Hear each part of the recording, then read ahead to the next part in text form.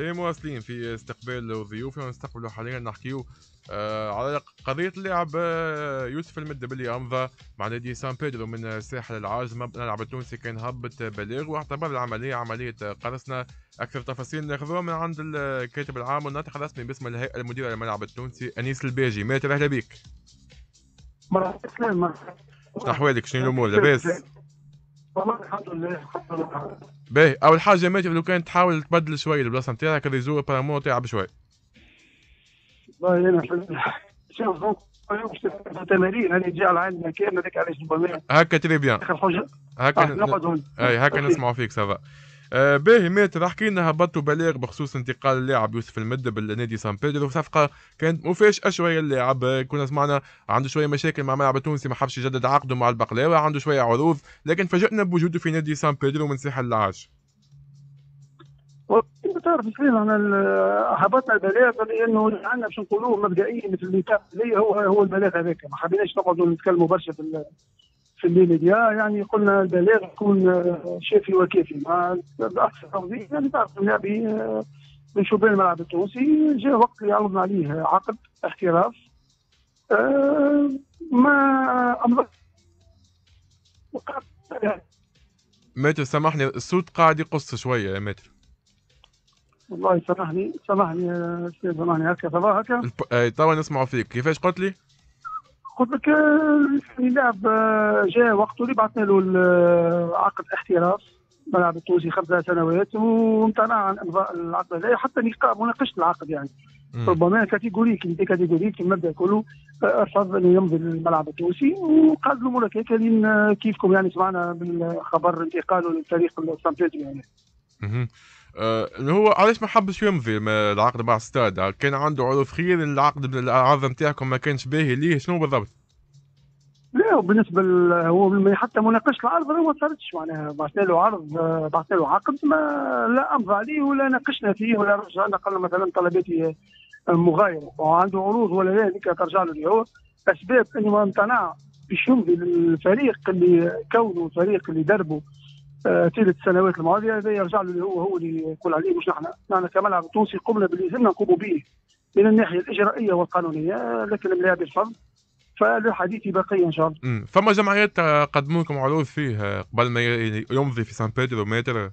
والله شوف فما اللي قدموا لكن ما نحبش تو نحكي حتى ما يتمش ربط انتقال سان بيدرو بأي جمعيه أخرى لأنه اليوم آه كما قلت كمسؤول نتكلم على اللي موجود توا قدامي إنه الملاعبي أمضى إلى سان بيدرو. أكيد إنه من سان بيدرو ماهيش باش تكون هذيك الوجهة نتاعو ما تروش لاعب شاب في الملعب غريبة خاطر اوقات باش يكون طموحه انه يحترف في سان بيدرو. مع احترامي للنادي هذا ولا البلد اللي اللي نشأ فيه الفريق هذا. أكيد إنه شكون عنده محطة أخرى لكن شكون المحطة هذه؟ ما نجموش تو نقولوا من إنه ما نعرفوش إحنا حقيقة. وأدعو الجميع أنا حبينا نعطوش إنه من غير ما يقعدوا يتنبؤوا ويواجهوا اتهامات أي نادي آخر حتى نشوفوا آه، آه، بقية المشوار نتاع اللعبة هذه كيفاش بتكون. والملعب التونسي جاهز للدفاع عن حقوقه. وباش يحافظ عليها لآخر رمق ان شاء الله. هو تاكيد لكلامك أول لاعب تونسي يحترف في الكوت ديفوار معناها. اي مع يعني كما قلت لك البطولة الإيفوارية يعني آه، تعرف ما نتصورش لاعب تونسي شاب باش يكون يطمح البطولة الإيفوارية خلينا نكونوا صراحة ونبدأ واضحين أكيد من وراء الانتقال السنغالي تكون فما فريق آخر خارج تونس ولا في تونس ما نجموش نجزموا وماهوش وقته لأنه اللي عندنا توا إنه لاعب أمضى في سان بيدرو المحطة هذه عندها إجراءات عملها الملعب التونسي. إذا صارت محطه أخرى كذلك ستكون عندنا إجراءات قانونية اللي على الأقل تحمي حقوق النادي. نتفهم واجب التحفظ نتاعك أستاذ. لكن أنت وجهت رسالة لاحباء الملعب التونسي قلت ما نجموش نتهموا حتى نادي ولو إنه الاتهامات كانت هي صريحة للترجي خاصة إنه اللاعب كان صار مع هيثم عبيد نعرفوا علاقته بالترجي.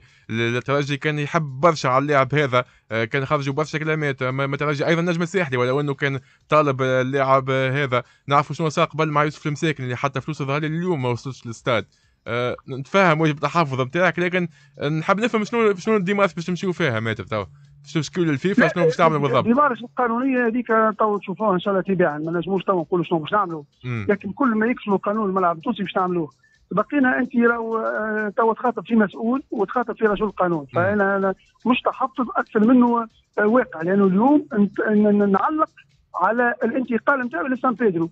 ما نجموش نمشي ما وراء ذلك مش من حقي باش نقعد ندخل في تأويلات آه، ربما تزني الغلط اليوم عندنا ملاعبي مشى ارتدى زي نادي سان بيدرو. هوني يقفوا هوني نحلوا هوني نعلقوا. أكثر من ذلك وقت لكل حادث حديث في كلمة طمن احباء استاد إنه يحق في اللاعب محفوظ. الحق اللي يكسروا القانون جو دي بيان اللي يكسروا القانون يعني الناس الرجال القانون يفهموني معناها. الحق اللي يكسروا القانون راهو نحن ما نسلموش فيه. لكن في إطار القانون راهو اللي نجم يصير بالقانون يصير راهو. بقدر ربي حقنا اللي يكسروا القانون الملعب التونسي مش يسلم فيه وعندنا كما من الأكفاء يعني رجال القانون ينجموا يدافعوا على حقوق الملعب التونسي ضد أي كان كما قلنا في البلاغ وفي أي مكان كان اللاعب. باش تعملوا لجنة فيها محامين تاع استاد؟